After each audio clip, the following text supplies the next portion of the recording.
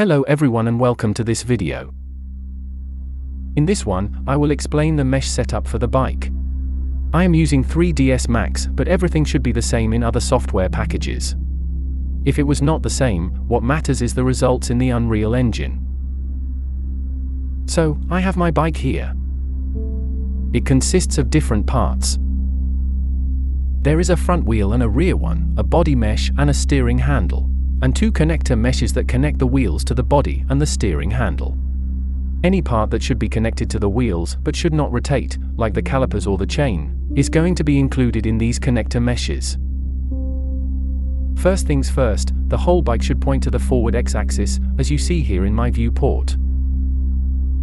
The pivot of the body mesh should be on its center, especially if you look at it from the top view, it should be on the center line and when being looked at from the side view, it should be between the wheels, like so. Let's hide this one. The pivot of the wheels should be on their rotation center. When you rotate them around the y-axis, they should rotate perfectly without any wobbling. Let's hide them too. The steering handle should be completely upright and point to forward X. I'll try my best to make it straight, and the pivot should be where it connects to the body and rotates around it.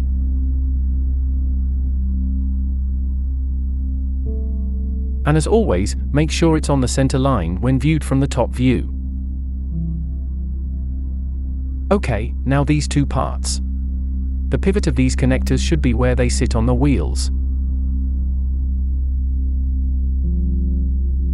Let's bring them here to see better. The orientation of these should be in a way that they point to the forward x-axis. and then this symmetric side should point to the y-axis. I will rotate them 90 degrees.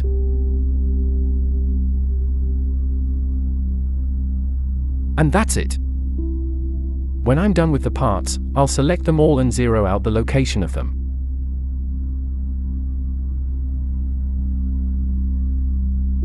Make sure your meshes have the correct names. After that, I'll export them and name the file SM for static mesh. When I import these into the Unreal, they will be named SM underscore, followed by the mesh name. Let's jump to the Unreal and create a folder for our bike. I'll drag my exported FBX file into my content browser and pay attention to the import dialog. First, make sure the combine meshes is off, because you want your meshes separated and not combined as one mesh. Then check that transform vertex to absolute is on. This should be on by default and when it is, the Unreal takes the world origin as the pivot for the meshes and disregards the actual pivot on them. This way, if your pivots have hidden rotation or scale, they will not ruin your mesh. Scroll down, and here, you can specify the search location for the materials. So I have created my materials somewhere in this project before, and I want the meshes to search for the same name materials and auto-assign them to the mesh. And this is how you tell the Unreal where it should search for them. And finally import.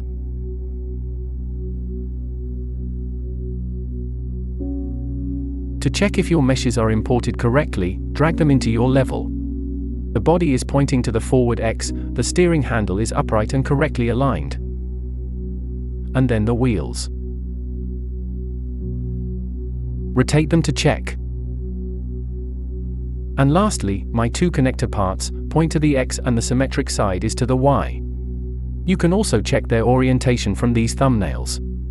So forward X is to the right. Steering handle upright and pointing to the right, wheels facing you, connection parts pointing to the right, and lastly body to the right. Let's assume I have this incorrect wheel and I want to fix it.